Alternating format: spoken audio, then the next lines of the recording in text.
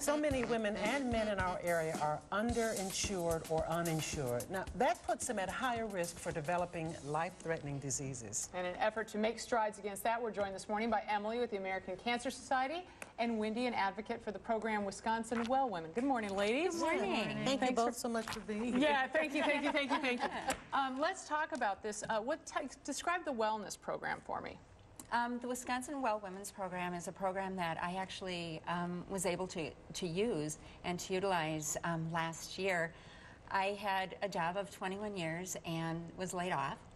And Like lot of because of that, right. And um, because of that, my insurance, you know, I had Cobra for a while and that got to be very expensive. Right. And it was embarrassing, but I actually went three months without insurance. Mm. And I knew it was time to have my breast cancer screening and my cervical cancer screenings that I do diligently every year. I do have a history. Um, before my 40th birthday, I had my first. Um, well, my first ultrasound and my first biopsy. Mm-hmm. Two years later, had another one, and two and a half years ago, found myself having a lumpectomy. So I know the importance, and I- everything's fine. I, I don't have cancer, Very which is good, very good. which I'm very blessed. But I found myself in a situation that, you know, I don't have insurance, and I needed to get my screenings, and you know, And the Well do? program helps with that? You- Absolutely. but you said it's embarrassing. It's a reality that many, many women, many people cannot afford, especially if they don't don't get it through their jobs, Right. cannot afford health insurance. Correct. And the Well Woman program gives them an opportunity to do what? Correct. The Well Woman program is a program that gives mammograms, um, free cancer screenings, mammograms and other cancer screenings to low income, underinsured, and uninsured women. So it's a way for them to get the screenings that could be potentially life saving. And in Wisconsin, breast cancer is the number one cancer killer among women. Mm-hmm. So if it's caught early, it's, the survival rate is actually 98%. Mm-hmm. But if it's caught late, if it's caught at a later stage, it's only 27%.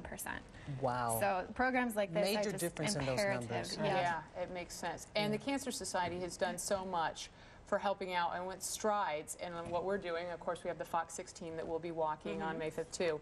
Tell us about the relationship between the two programs. How does that work? It's a really important relationship, actually. It's um, because of the volunteers and the striders and the people that come out to this event, we're able to raise awareness for breast cancer and for the need to get mammograms and other cancer screenings, age appropriate screenings. But also, part of the funds raised that day go to fight back against cancer. And to do mm-hmm. that, we work with lawmakers. We let them know how important programs like these are so that they'll protect funding. Right now, only one in five women who are eligible for this program actually can receive the screenings because of mm-hmm. inadequate funding levels. Mm-hmm. So by having pro- having events like this and raising awareness and letting lawmakers know how important this is, we're really able to protect a really important program. I think it's a perfect time to say, what can people do to get involved? Because you said that Yeah. those numbers, one in five women who need the help can get it. So what can people do? Get involved. One of the things too, um, I'll be at our advocacy tent um, again, like I did last year, and letting women know that these programs are out there. Because if the programs aren't being used, you know, they're they're going to stop funding to it. So there are programs out there to help women, and let them know that our legislators, we need to let them know.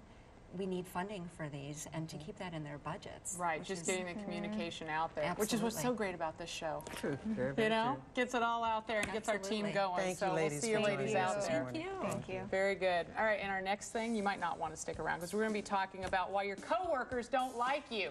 Uh-oh. I know. I don't want to I know. I love you. I love you. But there are other people It's the other people. I don't like.